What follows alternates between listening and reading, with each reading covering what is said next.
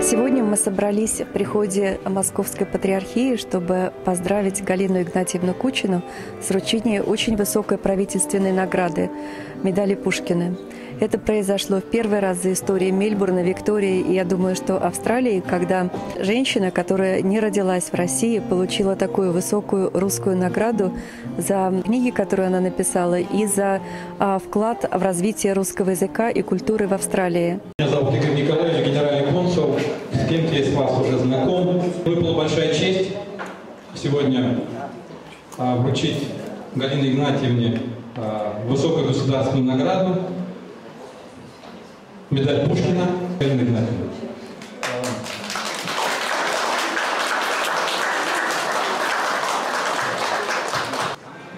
Указ президента Российской Федерации о награждении государственными наградами Российской Федерации за плодотворную деятельность по сближению и взаимообогащению культур, наций народностей наградить медалью Пушкина, Пучину Галину, почетного председателя Австралийского литературного общества имени Солоухина, гражданку Австралии, президент Российской Федерации Владимир Владимирович Путин. Москва, Кремль.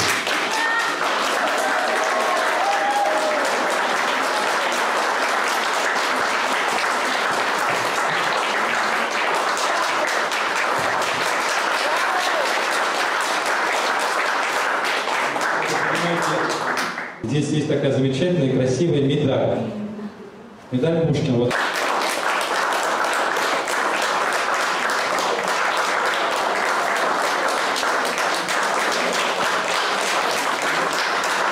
Это удостоверение и еще маленькая медаль совсем на память. Это тоже как часть награды.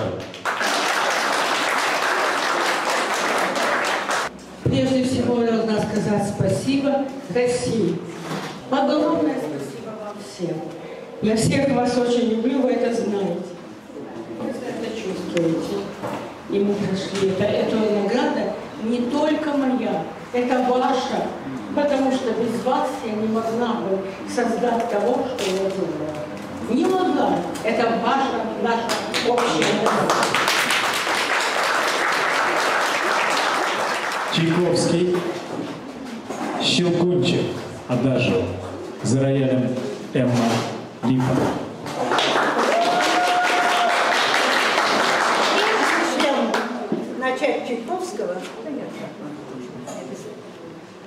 я бы хотела сказать, уважаемая Галина Игнатьевна, уважаемый господин консул Российской Федерации вместе Ирина добрый вечер, дамы и господа. Мы действительно очень счастливы быть здесь, потому что сегодня день необычный. Галина Игнатьевна получила огромнейшую награду. И мне кажется, что заслуга ваша, Галочка, милая, в вашей энергии, энтузиазме, в вашей любви к людям. Жаль, что вы не в Кремле, не в Георгиевском зале. Мне посчастливилось там быть. Я получала звание заслуженной артистки России в 1987 году. Там так торжественно. Считайте, что это кремлевские стены. И музыка, когда встречаю человека, я его сразу одеваю в музыкальную одежду какую-то. То есть музыку, которая ему бы каким-то образом подходила. Мне кажется, что Чайковский вам бы очень Gracias.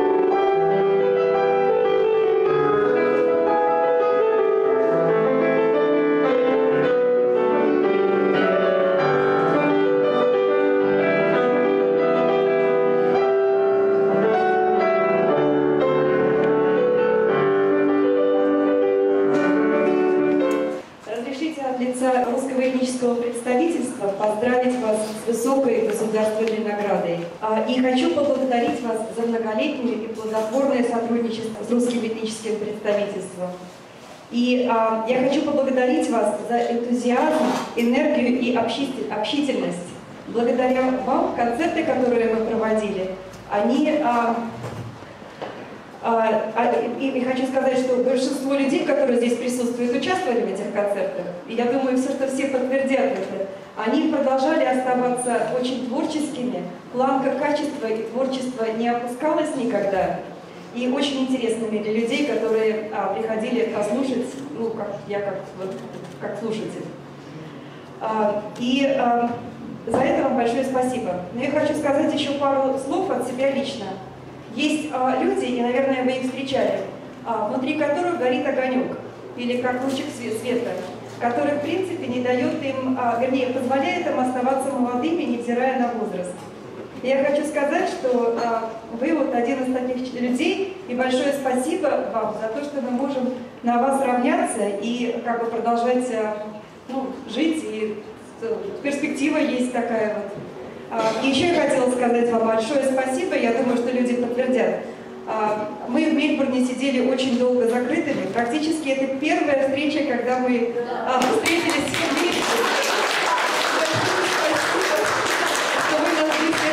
используя такой случай. И это очень хороший случай, очень положительный. И мы хотели бы преподнести вам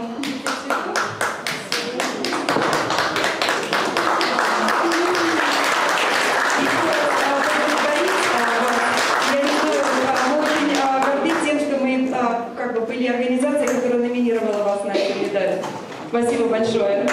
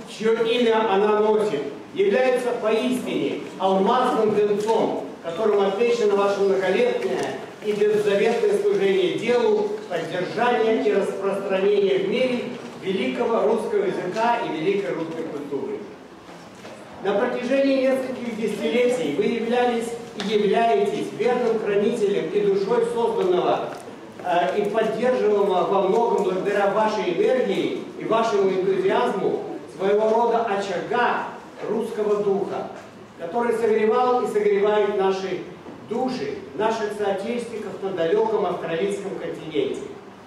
Именно вам, именно вами проторена э, незарастающая тропа среди русских людей в Австралии и выдающихся деятелей русской культуры, многими, многие из которых являются вашими хорошими друзьями.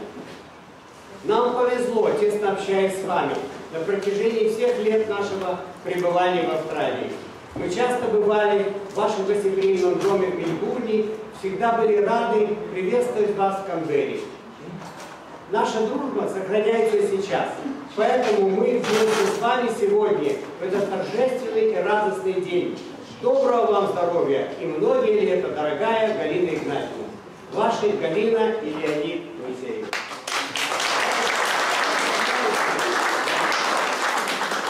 Были произнесены очень красивые, хорошие речи от э, наших людей из Мельбурна и от представителей России. И закончился вечер очень душевно концертом. Приглашаю на сцену Ларису Грановскую и Александра Венгеровского.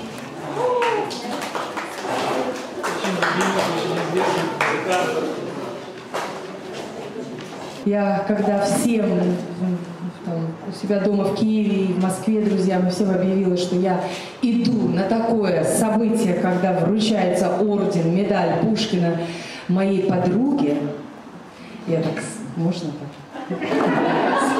Нескромно она сказала, они все, конечно, обалдели, ждут репортаж, ждут фото, ждут доклад, как это все проходило. Галочка, очень горжусь дружбой э, нашей с вами, очень горжусь тем, что э, мы нашли общий язык и столько общих тем. Очень хочу опять к вам на русские пельмени. Как это было душевно, когда мы втроем с русской водочкой. Боже мой, Галина, незабываемые. Я надеюсь, что их будет еще много у нас впереди. Сегодня мы вас поздравляем от души с этой высочайшей, действительно алмаз, да, с высочайшей наградой. И желаем вам только творческого долголетия и всяческого долголетия, вдохновения, радости и крепкого здоровья. Будьте счастливы. Мы вас очень любим. Все. Музыка Матусовского, стихи Баснера, романс «Белой акации, груздья душистые».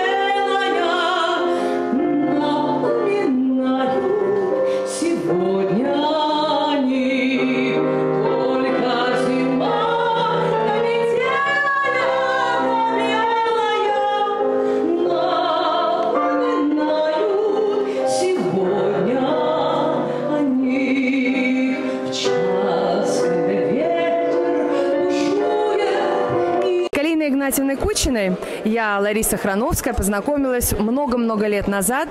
А, Галина Игнатьевна пригласила меня а, уча- э, участвовать в концерте, посвященному Дню культуры России. Он проходил в Мелбахол, и Галочка была организатором и э, ведущей этого концерта. Вот так мы познакомились, и я влюбилась в эту женщину, правда. Она личность, она потрясающий человек и очень интересный человек. Мы у нее и в гостях не раз бывали, на пельмени приезжали, она хозяйка безупречная, всегда так вкусно, так красиво, так тепло и здорово по-русски. Вот она настоящая русская, русская-русская. Галочка, счастья, здоровья, всего самого-самого лучшего и новых книг мы ждем от вас. И, конечно, поздравляем с такой высокой наградой России. Спасибо э, президенту Путину за оцененный ваш вклад в русскую литературу за рубежом. Русская народная песня «Не корите меня, не броните» обработка шала.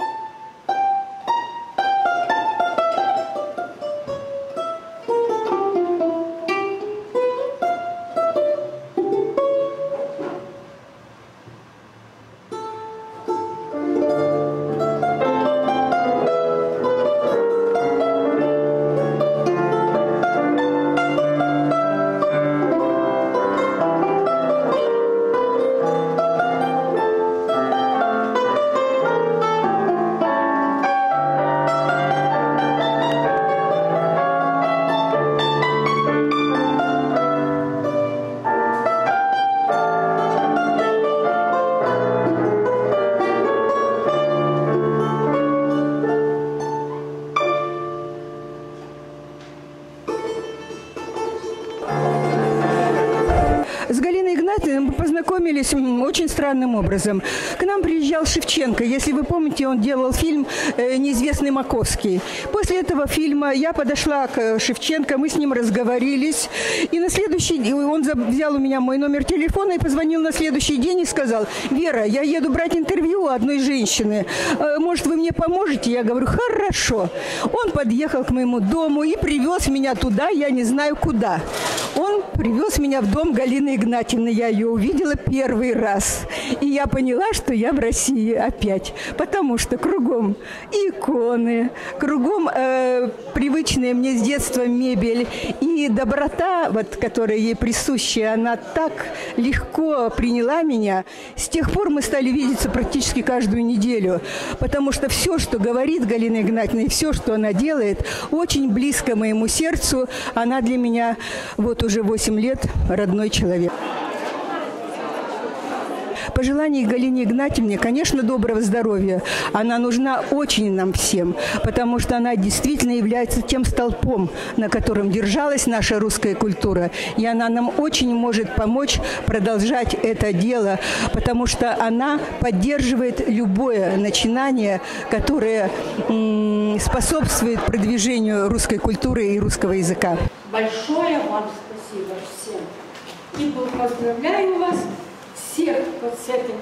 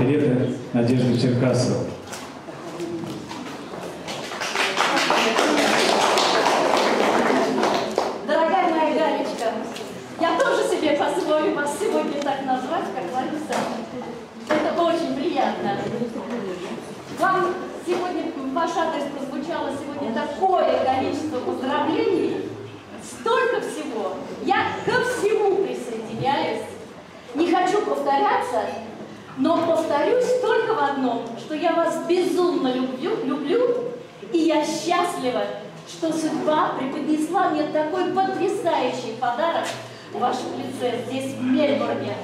Так что вы удивительная женщина. Вы как, знаете, как э, свет в конце туннеля. Действительно, хочется творить. Я столько сегодня о вас наслушалась, я столько не знала. Это было открытие. И мне хочется творить, мне хочется жить, мне хочется что-то делать. Спасибо вам за это. И я хочу для вас петь фантазию из известного трофейного военного фильма «Сестра его дворецкого». Белый Дубин. Thank you.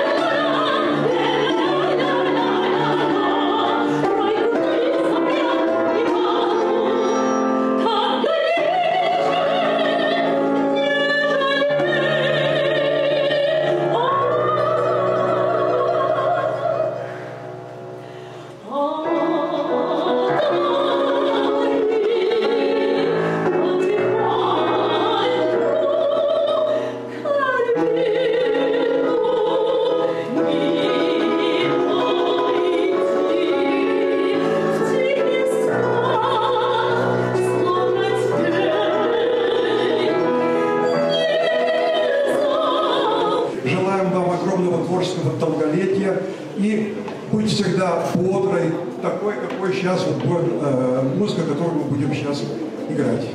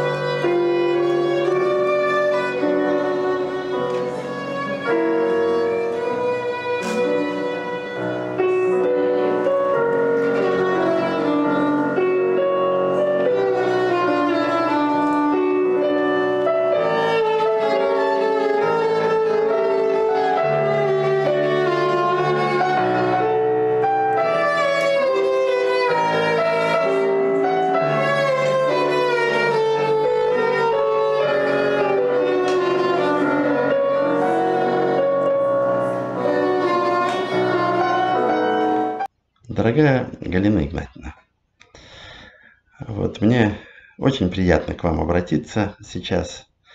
Значит, у вас лето наступило, у нас наступила зима. Вот, у нас сейчас минус, минус 17 в Сибири. Вот, и это показывает, что на самом деле э, эти расстояния, это, в общем, не важно, потому что культура – это то, что нас объединяет, и то, что делает нас, в общем, русскими людьми. Вот. И больше, чем вы сделали для этой русской культуры, сложно вообще себе представить. Поэтому ну, с огромным удовольствием мы с Ниной хотим вас поздравить с этим замечательным событием. Вот. И пожелать всего самого-самого доброго вам, э, вашей чудесной семье, вот, потому что мы, конечно же, всегда о вас помним и желаем вам всего самого доброго. Вот, я хотел бы прочитать э, несколько строчек Пушкина, которые, как мне кажется, ну, лучше всего выражают вот то чувство, которое э, двигает вами и другими людьми, которые действительно любят и ценят русскую культуру. Два чувства дивно близкие нам. В них обретает сердце пищу. Любовь к родному пепелищу, любовь к отеческим гробам. На них основана от века по воле Бога самого самостояние человека и все величие его. Животворящие святыни, без них душа была б пуста. Без них наш тесный мир. Пустыня, душа, алтарь без божества. Ну вот, за полноту души, за э, счастье общения с вами я вот очень рад и еще раз всего вам самого-самого-самого лучшего. Сегодня 15 декабря, и сегодня день награждения меня медалью Александра Сергеевича Пушкина. Это, конечно, очень знаменательный и замечательный день моей жизни. Получить такую награду, государственную награду за мою любовь к России, благодарю Россию. У меня три русских медали, которыми я горжусь очень но Пушкинская это была предел. Я не ожидала. Мне делали небольшой прием, пригласили, пригласили меня, но тут это вылилось в такой поток радости, дружелюбия, любви. Столько чувств было здесь и столько эмоций, о которых я просто даже не могу говорить. Представьте себе, теперь получив в своем возрасте, в таком молодом 90-летнем, я получила такой заряд, что готова работать снова.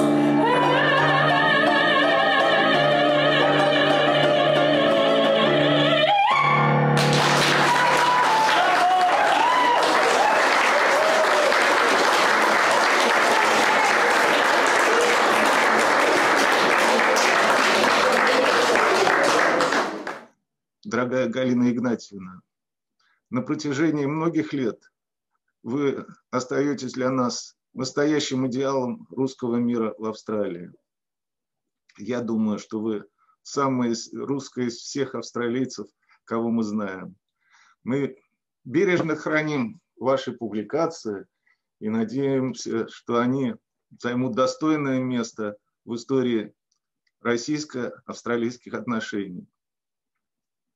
Дорогая Галина Игнатьевна, искренне поздравляем вас с высокой наградой. Желаем вас, вам здоровья, долголетия и дальнейших творческих успехов.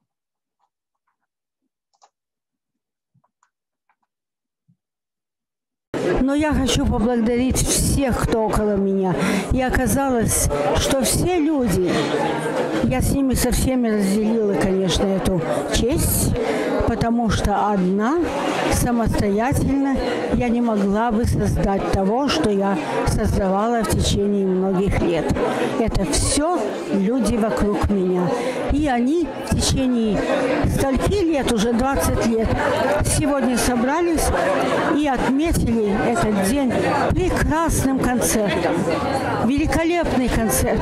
Э, дорогая Галина Игнатьевна, вам передает привет Русский музей и император Александр III, основатель этого замечательного учреждения. И я всегда с трепетом и благодарностью вспоминаю наши экскурсии по Русскому музею. И сегодня мы небольшую такую экскурсию проведем, посмотрим те произведения, которые вы наверняка хорошо знаете, но с которыми тоже связаны самые теплые воспоминания. Вот мы находимся в первом зале Русского музея. Здесь знаменитые иконы до монгольской эпохи. И я помню, как Галина Игнатьевна была удивлена тем, что на этой иконе находятся те самые символы, которые и на государственном флаге России. Белый, синий и красный. Иконы с изображением Петра и Павла, икона Деисус, Борис и Глеб, ну и, конечно, самая знаменитая и самая древняя икона из собрания Русского музея «Ангел. Золотые волосы». Русскому музею принадлежит собрание икон преподобного Андрея Рублева. Это икона Сретения, иконы Петр и Павел и икона Крещения. А вот эту икону, Галина Игнатьевна, мы с вами еще не видели. Эта икона сделана из бивня мамонта. Успение Пресвятой Богородицы. Когда-то столько много было кости мамонтов, что из них делали не только иконы, но даже строили отдельные здания. Но, к сожалению, здесь отсвечивает, не всегда хорошо видно. Ну и, конечно, это знаменитое произведение скульптора Бартоломео Карло Растреля. Это маска Петра I, сделанная при его жизни – Петр I – основатель Санкт-Петербурга, и самое точное изображение, которое существует в мире, это маска, сделанная скульптором Растрелли.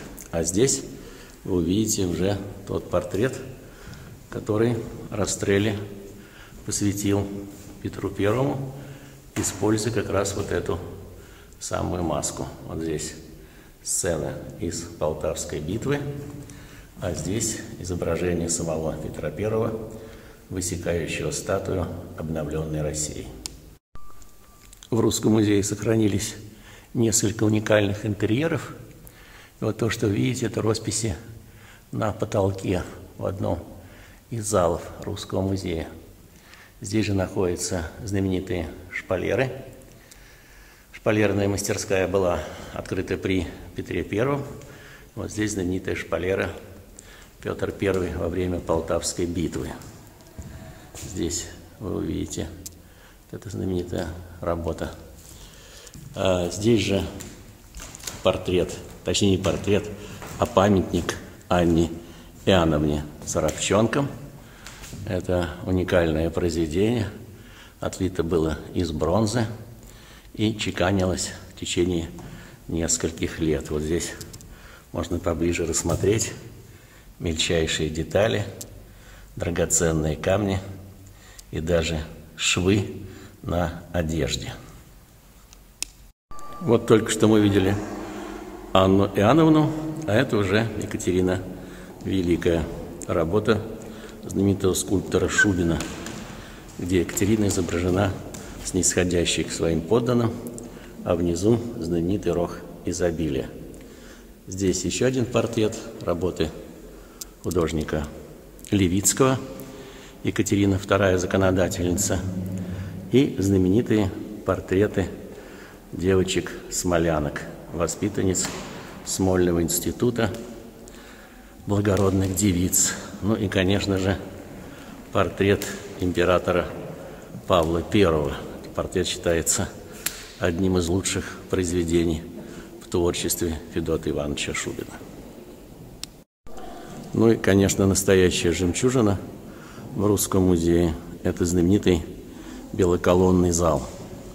Музыкальная гостиная – это, по сути дела, единственный пример интерьера, который сохранился после реконструкции Русского музея, которая происходила э, в 90-е годы уже позапрошлого столетия, то есть в 1895 году начата была реконструкция, в 98 была закончена. Ну, понятно, почему называется белоколонным.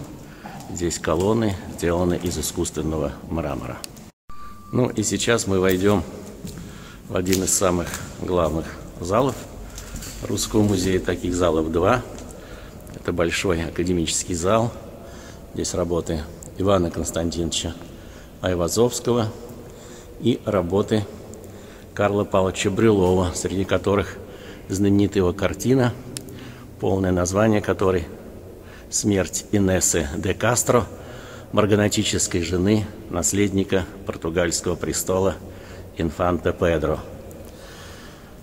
Ну и, конечно же, в зале Брюлова его самое знаменитое полотно, картина «Последний день Помпеи. Вот, сидя здесь, перед этой картиной, а, Галина Игнатьевна и предложила мне вот после моей экскурсии приехать в Австралию для того, чтобы прочитать а, свои лекции. Но предложение было очень неожиданным. Естественно, я отказываться не стал. Долго у нас шли переговоры, но благодаря энергии. Галине Игнатьевне 20 лет назад я попал в Австралию и очень благодарен, что многие люди, которые смотрят это видео сейчас, помнят о моих лекциях. Здесь а, самое большое произведение в истории русской живописи картина художника Федора Антоновича Бруни «Медный змей», который тоже – потрясла Галина Игнатьевна, и мы долго рассуждали о значимости этого произведения для русской истории. Конечно же, мы не можем пройти мимо работ Александра Андреевича Иванова. Сама картина Иванова «Явление Христа народу» находится в Москве, в Третьяковской галерее. Здесь называют по-разному это произведение. Это большой эскиз – или авторский вариант картины, он отличается от картины, которая находится в Третьяковке. А вот чем отличается и как их отличить друг от друга, я расскажу вам в своих программах на канале о музах и музеях.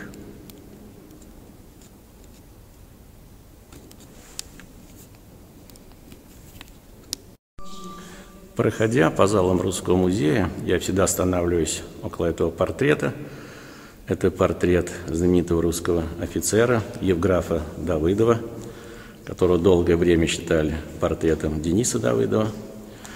И у этого портрета, это ведь офицер XIX века, я вспоминаю всегда и об Игнатии Калинковиче Волигове, вашем папе, русском офицере – который участвовал в знаменитом ледовом походе.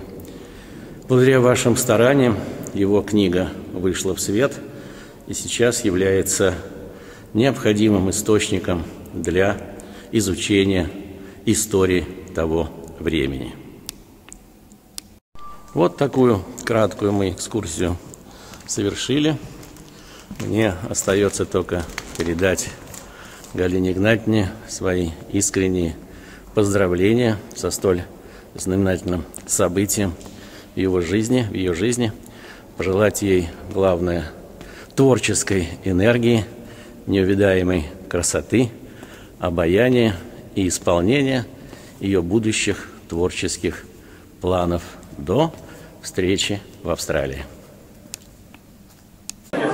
уже зарядились на будущую работу. Вот что делает любовь, чувство, энтузиазм и культура. Спасибо. Всех благодарю. Все получилось очень душевно и очень хорошо. Еще раз поздравляем Галину Игнатьевну.